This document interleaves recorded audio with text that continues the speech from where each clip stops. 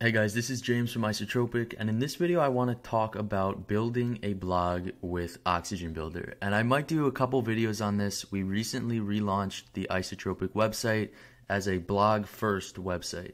So during this process, we did a bunch of different things. We have a ton of content on this site. So rebuilding it, there were a couple things that I figured might be interesting to share with you guys um, to see if that could kind of help you when building your own websites. So, in this video, I want to talk about kind of creating custom post templates and layouts for specific types of content. And there are a few ways to do this, and the most standard way I believe would be to do a custom post type and then apply just a different template from Oxygen Builder onto that custom post type. But for this blog, you can see that we have some reviews, we have some tutorials, but we also have lists and, and special pieces of content that may be displayed differently but are still a blog post. So I wanted to do this as an inspiration blog post. It's still a blog post, it's still published under the blog, but I wanted this to be laid out differently than your standard tutorial. So here's an example of what my my normal article template looks like as a blog post. And you can see dynamic data, images, um, all this all this stuff. And this is just kind of like your standard, you know, um, your standard layout for a blog post. It's the content within, related posts, and then all of this fun stuff. With that being said, I'm going to start publishing a ton of inspirational roundups. And you can see that this is still a blog post, um, it's still within the blog, and it still should be a blog post because it's a bunch of inspiring restaurant websites. This should be a blog post. But this post has a different layout than this post. And I'm going to show you how I did that in this video. But quickly, this is what this post looks like. You have an introduction, and then we have just a complete list of a bunch of really cool restaurant websites and really cool other websites. I'm going to start adding a bunch of different types of websites to kind of offer people inspiration into what some cool websites look like. And this is still a blog post again, and there's still content underneath it. And as we add more, there will be related posts and all that fun stuff.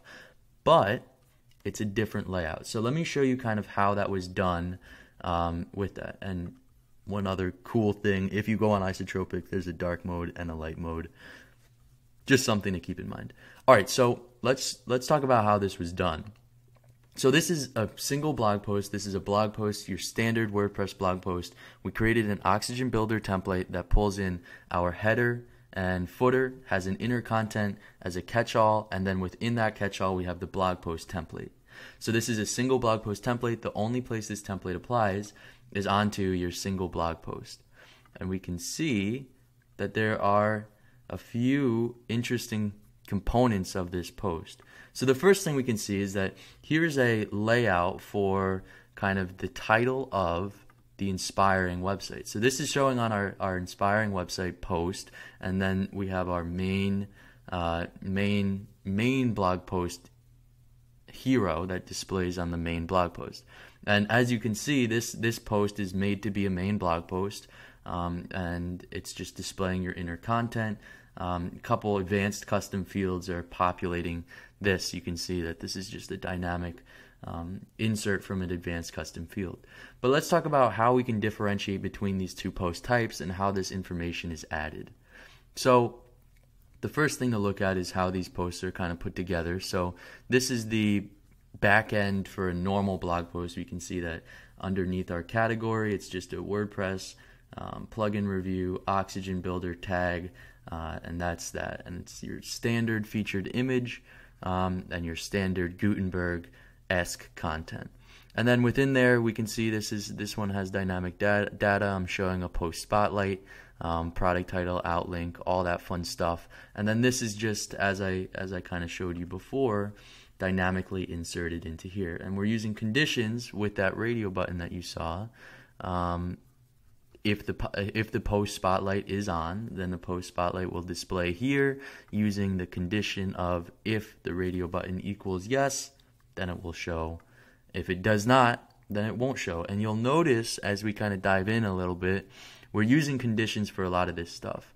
So this is your standard blog post, your standard post. Now, here's the inspiring restaurant websites post. And you can see a couple things. First, this is a dynamically populated year, but you may also be thinking, wait a second, that post, that title isn't showing up here. And that's because this is a custom, really custom post that's more customized using advanced custom fields and dynamic data populated into Oxygen than than just a normal post using the Gutenberg content builder. And what I mean by that is that when we have a category of web design and dev and inspiration, then this custom advanced custom fields group will display on the blog post, which is a post type, type of a post. No custom post, it's just the post. And within there, then we can now kind of populate our list of cool websites. And you'll notice this title style is an adaptive title. And what that means is that this title will adapt to the number. So there are 17 examples here, the number of inspiring restaurant websites. Um, if I chose to have your standard title, this would display the standard title. And I'll show you how that works in a, in a bit. Um, and then we have our intro, which is dynamically populated into the into the kind of body of the post. And then we have a repeater which repeats through all of the websites that we find really interesting. And you can see that there are a couple fields here. The fat duck is the title. This is kind of how it was built, a bunch of images. Um, and then our conclusion for the blog post. And we're not using really the Gutenberg content system aside from using this to manually or automatically generate our our um, our our post excerpt. Um, but we're still using the standard blog post type of thing because I didn't want this to be a custom post, but I wanted it to be a custom post design, if that makes sense. So the way all of this works on the front end is using the built-in condition system with Oxygen. You'll notice that we've set a condition for this entire section. If the post category equals inspiration, this condition will show, or this entire section will show. If it doesn't equal inspiration, so if it does not equal inspiration, then this section will show. And those two rules say if it's inspiration, this will show and this won't. And if it isn't inspiration, this will show and this won't. And you can actually build that out to be kind of really dynamic to the type of categories that you've created. And I don't think you want to get too complex if you start having a ton of different content types. It'll probably be more performant without caching to be doing your standard kind of apply the post template directly to that custom post type. But if you're using different categories within a blog and you kind of want to display things a little bit differently, this is a great option to go about doing it. And you'll notice that here's our standard uh, post title for that for that list um, for that list article, and you'll also notice that um, that's your standard title. That's what we'll display. So if that's checked off, under your conditions, it will say if it's standard, show this element. And then within, we kind of have a custom code block with another condition on it that says if it's not standard, if it's the adaptive one, and if we have rows within our repeater for sites, then let's display the number of sites um, as our header. And you'll see that here, 17. That's the number of sites um, with the adaptive title.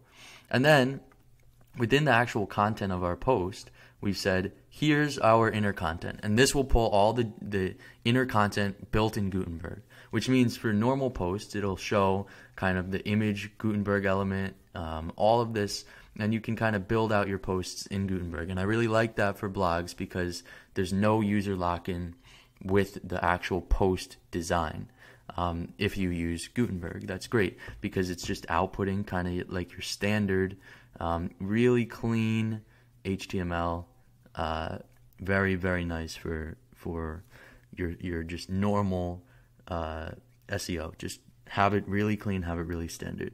And then if I want to get unique and I want to have that that kind of list item, I'm going to dynamically say I want to display this section, this section which includes our repeater of all the cool inspiring websites. I want to display this one when the category is inspiration and when it's not inspiration, I want to display my inner content to say, all right, this inner content will show if it's not inspiration.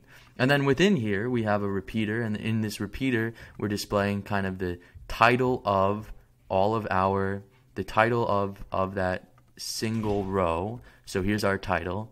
um, as a heading. Here's our made with link, and that made with link is then being displayed within the the builder as well. You can see that here. Um, and here's your title. And then we have all of our images and we're using CSS Grid. Love CSS Grid. These images are just dynamically populated in using your standard Oxy dynamic data. Here's the explanation of why we like the website. And then here's the content or the, the conclusion content within. So that's kind of how we did a, a unique blend of I want this post to be custom, but I don't want it to be a different post type. Let's figure out how to make that show as a list, a cool custom list that's pretty editable, pretty easy to, to mess around with. And the reason I like using ACF for these type of posts is say I like Corsa better. I can just move Corsa up, above, or above. I can move these around and they'll reorganize on the front end because it's a repeater displaying the ACF content. And then this is just the conclusion. Um, and by custom styling it and inserting it, as a what you see is what you get editor, um, it's a very similar thing to Gutenberg where it's kind of really clean outputted uh, code. So that's just a little cover or a little video I wanted to record. I had a couple questions on how did you do that. That's how I did it. Um, and if we go down, I can kind of just speak to here's our comment system. It's a comment list. I'm using wpDiscuz, which is a really cool comments tool, um, and it will just automatically replace the comments list.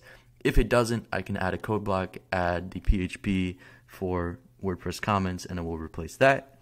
Here is another just author article by the author, which is a heading with dynamic data inserted. You can also see this is built using um, Oxymade.